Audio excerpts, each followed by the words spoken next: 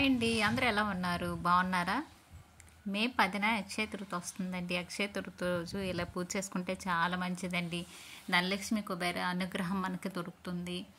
ఇంకా లక్ష్మీ నరసింహస్వామి అనుగ్రహం కూడా మనకి కలుగుతుందండి. చాలా మంచిదండి అక్షయ తృతి రోజు. అక్షయ పాత్ర ఇలాగా పెట్టుకోవాలి. పూజా రూమ్లోన? అక్షయ పాత్ర వీడియో కూడా నేను పెట్టానండి. ఎవరైనా చూడకపోతే చూడండి. నేను ఎలా పెట్టాను ఏం చేశాను అందులో ఏంటి పెట్టాను అంత వీడియో డీటెయిల్స్ అంతా ఉంటుందండి.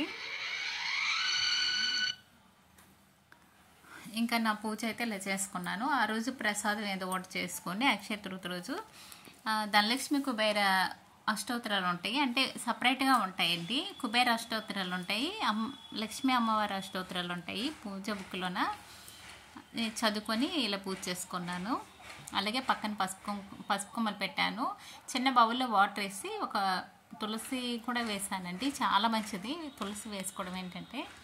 అలాగే మంగళకరమైన వస్తువులు కూడా అమ్మవారికి పెట్టానండి.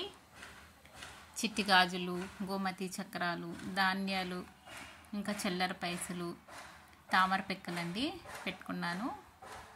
ఇలా నా దగ్గర ఉన్నవన్నీ ఇలా పెట్టానండి. ధనలక్ష్మి కుబేర ఫోటో ఉంది. అందుకని ఫోటో దగ్గరే నేను పూజ చేసుకున్నాను. ఫోటో లేకపోయినా పర్లేదు. అమ్మవారి దగ్గరైనా పూజ చేసుకోవచ్చండి.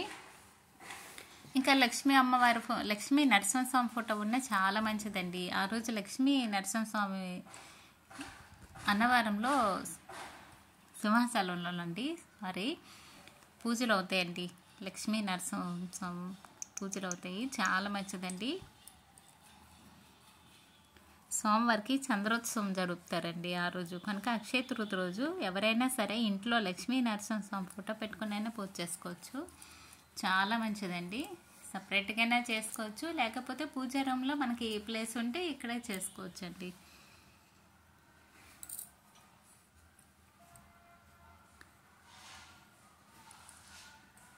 అక్షయ తృతి రోజు లక్ష్మీదేవి అనుగ్రహం కొరకు కుబే లక్ష్మీ కుబేర పూజ చే చేస్తే చాలా మంచిదండి ఇలా.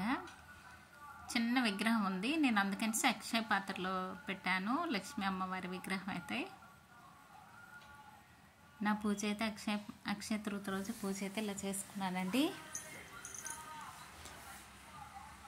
ఇంట్లో ఎవరైనా ఇలా పూజ చేసుకుంటే చాలా మంచిది. అక్షయ తృతి రోజు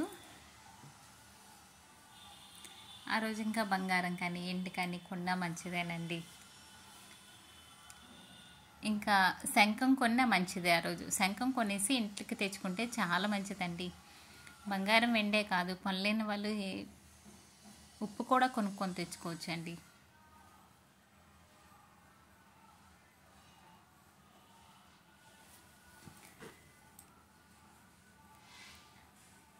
ఇంకా నేనైతే గజలక్ష్మి అమ్మవారి దీపం కూడా వెలిగించుకున్నాను. పర్వదిన దినాల్లో గజలక్ష్మి అమ్మవారి దీపం కూడా వెలిగించుకుంటే మంచిది కదా?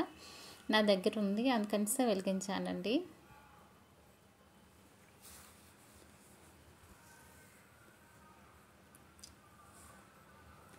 ధనలక్ష్మి కుబేర పూజ బుక్లోనైతే స్టోరీ కూడా ఉందండి చాలా బాగుంటుంది.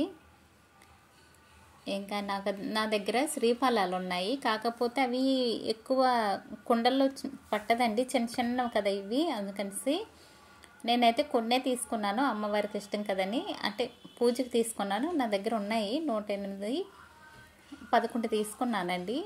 తీసుకొని ఇలాగ అమ్మవారి దగ్గర వేసుకుంటున్నాను. దండి శ్రీ కుబేర వ్రతకల్ప బుక్ ఉంది. ఆ బుక్కులు అన్నీ ఉంటాయండి. అష్టోత్తరాలు అయితే నేను చదువుకున్నాను. అమ్మవారును కుబేర అష్టోత్తరాలు